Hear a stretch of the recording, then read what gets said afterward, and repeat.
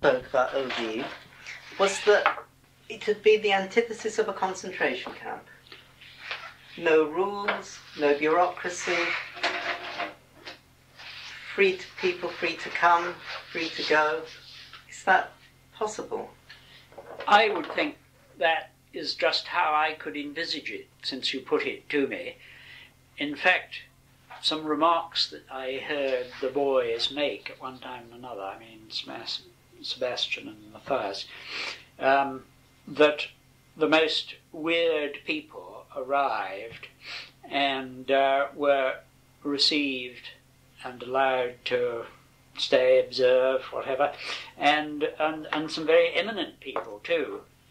And uh, whether you know it produced a lot of problems, I don't know, because they did have uh, something of a structure. I think they had meals and uh, conferences, I imagine, but otherwise, yes, my impression is that it was a sort of quite unstructured thing. I mean, I wonder if the problem that John Thompson would have had with that enterprise and and trying to restart it in this country is the something that is too formless can't be maintained because it needs um, needs the commitment of some individuals who do some of the basic tasks, and and they can't do them without uh, you know, regular meal times, for instance, or somewhat regular meal times. Um, but no, I mean, I don't, I don't see why that should get in the way of the the less the less structured thing, which perhaps is what John valued about it so much. I mean, some people would think, oh, it's a bit of an indulgence, I suppose. You know, if you don't have form and order, you don't achieve anything. There is no art without effort and um, discipline, and that is in Catholic spiritual life, I suppose, is a rule that um, you know, in fact, people accepted as spiritual guides, masters, have undergone um, some discipline, self discipline. I mean, religious orders depend very much on exactly that kind of formation that you surrender your own will or lack of will, so that you're given a will to yeah. do, and that the people who you accept no more than you are turning you into a more finished human being or developed soul or capable person, mm. monk, nun, whatever. Right, yeah, yeah. And I mean, surely in all crafts, and I mean, talking of medicine and healing, um, its, its expertise is required by a fair amount of hard graft and study, isn't it? But L'Eau Vive was a, a spiritual community, not a therapeutic one, or well, was it therapeutic for the therapy for the spirit? yes, I should say probably it was to achieve therapy by using spiritual means. Mm. Um, that's getting quite etymological, isn't it? So, meditation, communal, and there was a chapel. I think there was. Of course, Marie Odette, Marie Odette with her French background, her family there, might have had a chance to re examine or have met people who were involved. I have once or twice met people, I think, who, who had heard of it, and for some reason I never closely sort of questioned them and said, Were you there? or Did you ever know John Thompson? or How mm-hmm. did you come across it? I mean, a certain amount of news often got about. And it was a chateau with land? I think it was. I think it had a sort of walled impression. Um, when Sebastian and I went there, I think he had to collect the key from a old lady in the village who was sort of acting as a semi-caretaker. But have you met this chap, Jean Vanier? I'm sort of hoping to. He's incredibly. He runs this organisation called uh, L'Arche, which is a worldwide organisation, and he's always travelling somewhere. But um, I, he's agreed to let me sort of, I could say it, to sort of find a window in his schedule. Yes, I imagine he's a bit like um, Leonard Cheshire was at one time. So committed that he was always going to some meeting or to raise money mm. or to see a new mm. place that had opened yeah. running properly, yeah. dashing around. But Eau Vive didn't involve. It didn't involve any um, agricultural work. Well, whether they had gardens or something there, do you know, I don't think I ever discovered. I was just saying that John had very much this interest in uh, sort of, I think, therapy connected with his, um, what came from this uh, Catholic worker thing, cult, culture cultivation. Um, but that was transposed then to New York by Dorothy Day. So, because well, it, it seems that again, and I would say the antithesis of but she was already yeah. doing her thing before ever she knew of John Thompson. Yeah. And uh, this chap who was a great mentor of hers, Peter Maurin, hmm. um, Maurin, his some of his works, I had, I had a book, oh. and you have you ever read anything about Dorothy Day? Because I, she yeah. wrote her autobiography, which John mm-hmm. put me on to, called The Long Loneliness. And I had a copy, whether I could find it. Well, it was Soisy sur Seine. Yes, yes, absolutely, good. yes. Um, that right. was a card from Sebastian in Canada at Christmas. Whether that'll give you any leads. No, but it would be rather nice to see a picture of him. Um, but you made the remark that his sort of polarity was very much set by John Thompson. You know, I can recollect now that he actually used phrases and expressions and thoughts that come from what I remember of John. For instance, here he says, you know, for 1975, we wish you good health and there's word missing, or it's got smudged, and plentiful means of grace. Yes, um, I can't be more specific, but there are sort of echoes of their thoughts and ways of expression. Sometimes I noticed in in both of them, particularly Sebastian, Matthias was rather more, um, in a way, more detached. I remember him giving an amusing account of how when he went over to see John, and he was in a very, you know, he was in, a, I think, in this acutely depressed state. Um, he said he had sat in on one of John's um, and and some of the other staff of the hospital, a sort of seminar, and um, he he said something rather irreverently irreverent, like they they they were they were like a lot of theologians discussing sort of principles. Um, and uh, did he even say something made one feel he, he was sort of criticizing it as a as a sort of almost a unreal kind of uh, frame of belief. Um, hmm. Was that a psychiatric seminar? Or? I suppose from this Albert Einstein Hospital. Ah, yes, yes. Well, it would have. Course, it was um, you know, I must ask. I'm in touch with one of the younger doctors from the hospital. Does it draw people from all over the world, or are they all Americans? Or?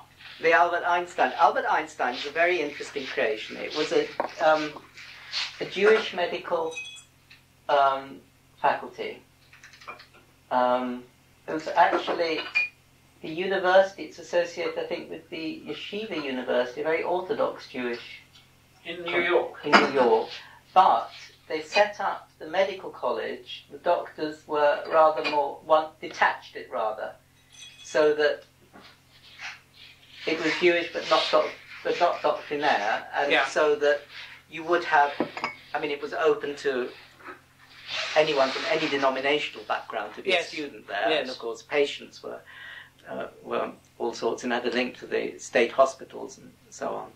But um, so that it was a very, I can say, eclectic sort of mixture. But and the psychiatry there, Milton Rosenbaum, he is a very non-doctrinaire psychiatrist.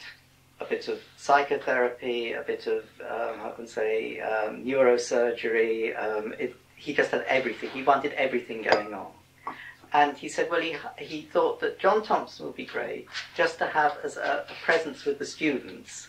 And just as he says, someone to have around.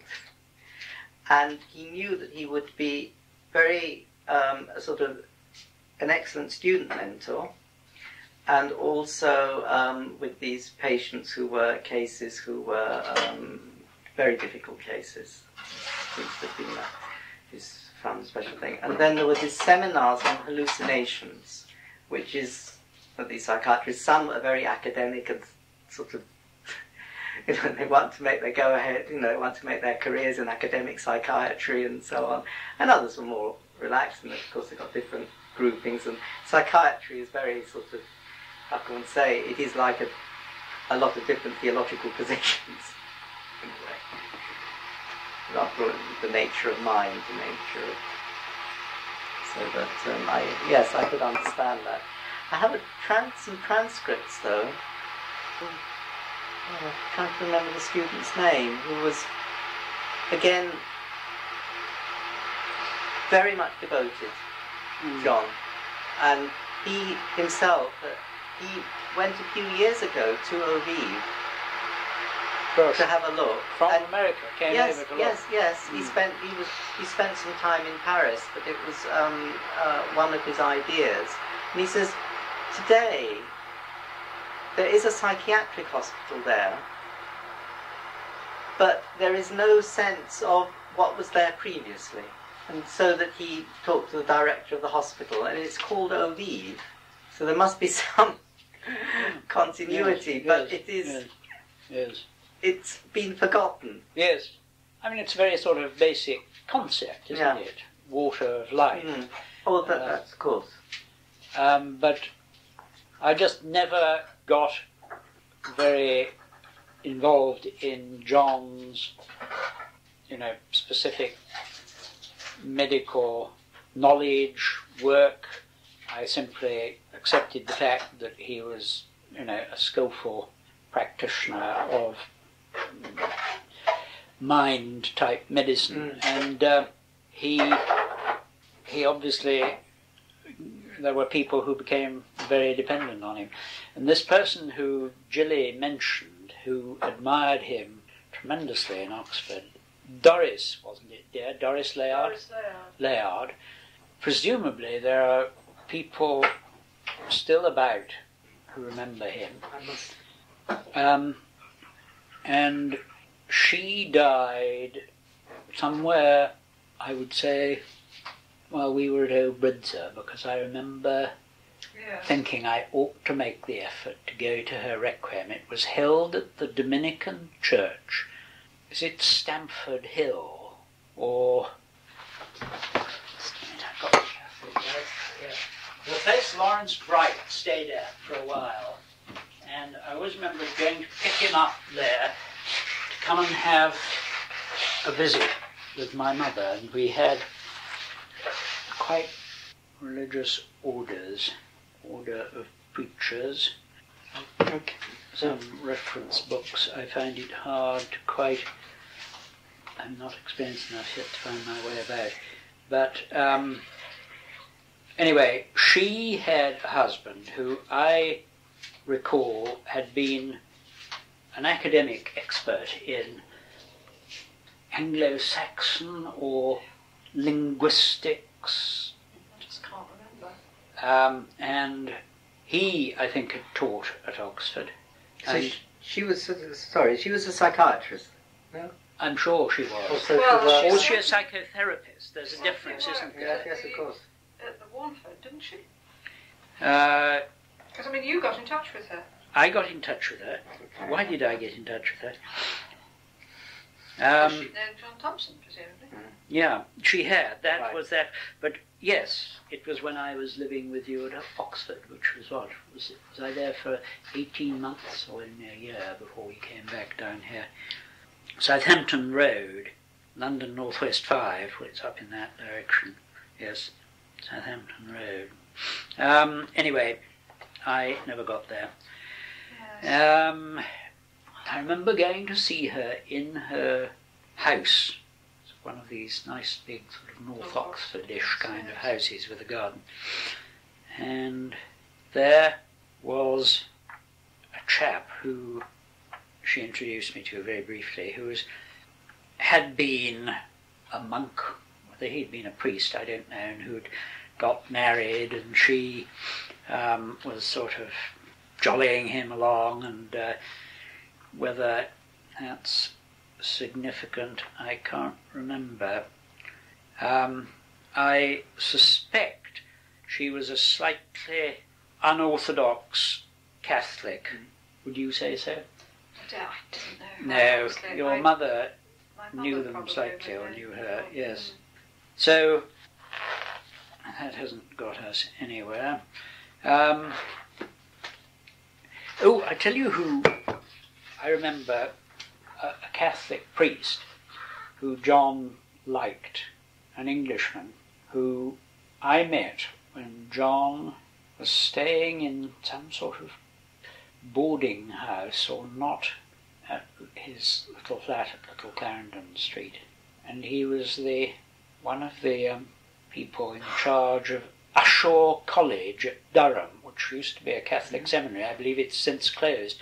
Gerard Culkin, and he was in Oxford to do some historical research, I think, at the at the library, and John introduced us, and it was a year or two later, when I was on my way down from Glasgow, I stopped there and was given uh, lunch by this priest and shown round the college and shown the cathedral, and it was very, very nice.